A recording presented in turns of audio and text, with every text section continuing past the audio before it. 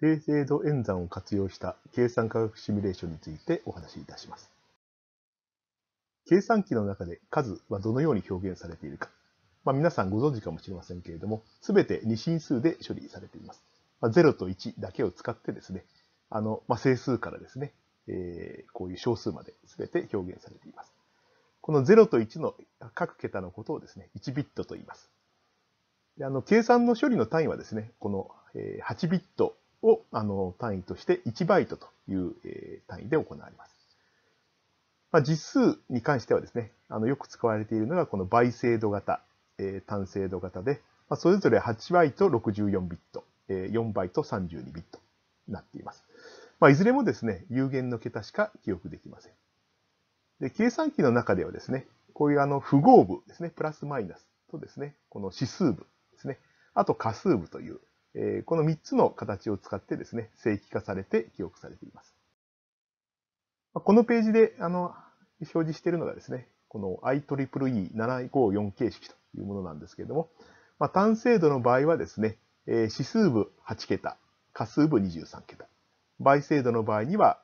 それぞれ11桁、52桁という形で表現されておりまして、まあ、単精度だと、まあ、10のマイナス38乗から、まあ、プラス38乗。えー、倍精度の場合ですと、マイナス308乗から308乗ぐらい。まあ、そのぐらいをですね、表現できるということになります。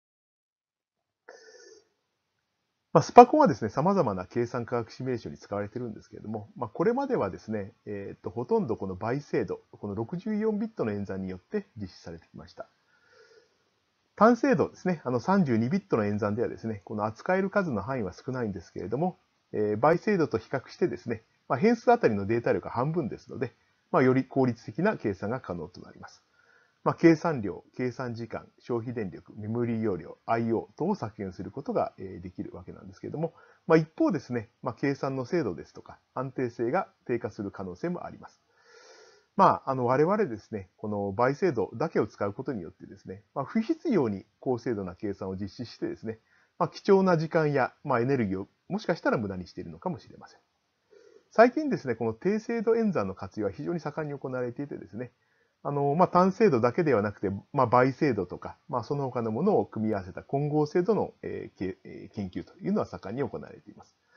あとですね、この approximate computing、まあ、近似計算というようなですね、あの研究分野もできていて、まあ、これあの省電力のためのあの研究なんですけれども、もともとはあの画像処理のようなですね、あまり精度を要求しないような分野で使われていたんですけれども、まあ、最近はですね、あの数値計算にも使われていると。まあ、そういう状況に。それでは実際の計算の例をお見せいたしましょう。えー、と今回はですね、この3次元の定常の熱伝導方程式というのをですね、この有限体積法を使って解いています。まあ、この規則正しい形状ですね。で、あの7点差分と言われる方法で解いています。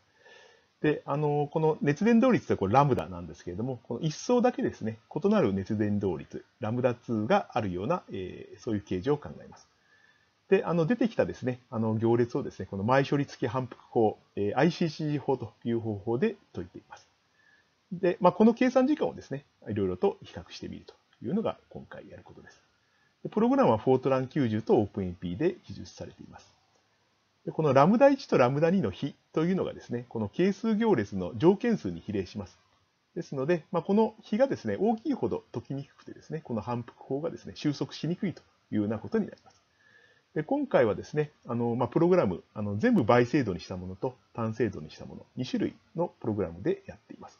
で問題規模としては、この、えー、128の3乗ですね。だいたい200万ぐらいのメッシュ数の問題を解いています。まあ、計算機としてはですね、あのちょっと古いんですけれども、まあ、東大のあのリードブッシュ、えーと、インテル Xeon のブロードウェルという CPU ですけれども、それの1ノード36化を使っています。で、計算時間ですね。それとですね、えー、この消費電力、えー、ワット値とですね、えー、と消費エネルギー、ジュール値の測定を実施しています。それでは結果をご紹介いたします。この図は、まあ、ラムダ1とラムダ2の比ですね。それと ICC 法の反復回数、あるいは計算時間の関係を表したものです。まあ、横軸がこのラムダ1とラムダ2の比ですね。で、縦軸が単精度と倍精度の比というふうになっておりますけれども、こちらはその反復回数の比と、えっ、ー、と、計算時間の比になっております。1より大きいとですね、まあ、の、単精度の方がですね、あの、反復回数が少ないとか、あるいは計算時間が、え、少ないということを表しています。で、あの、まあ、見ていただきますとですね、あの、まあ、この10の4乗ぐらいまでのこのね、えー、間はですね、えー、まあ、大体この、えー、反復回数の日も計算時間の日も、えー、一定になっています。で、あの、単精度にすることによってですね、あの、計算はやや不安定になりますので、あの、反復回数としては、あの、20%くらいこうやって増えてるんですよね。ですけれども、あの、計算時間にすると、まあ40%から45%ぐらい、まあ大体半分近くですね、あの、計算時間が減少しているということがわかります。ただ、このラムダ1とラムダの2の比がですね、だんだん大きくなってきますとですね、あの、この不安定さがより強まってですね、えー、反復回数がどんどんどんどんこうやって、あの、比が増えていくわけですね。で、あの、10の6乗の時にはですね、あの、これ見ていただくとわかるように、むしろあの、計算時間もですね、えっ、ー、と、単精度の方が倍精度より、えー、多くなるというような、えー、結果になっています。で、あの、実はですね、これ、ラムダ1とラムダ2の比が大きくなるとですね、答えも、あの、不正確になってきます。こちらがですね、あの、この原点に相当するこの赤い点におけるですね、えっ、ー、と、相対誤差です。で、これね、あの、倍精度がまあ正しいと、えー、見なした場合のですね、まあ、倍精度とのまあ相対誤差という格好になっております。で、まあ、横軸がですね、あの、ラムダ1、ラムダ2の比で、縦軸があの相対誤差で、これパーセントになっています。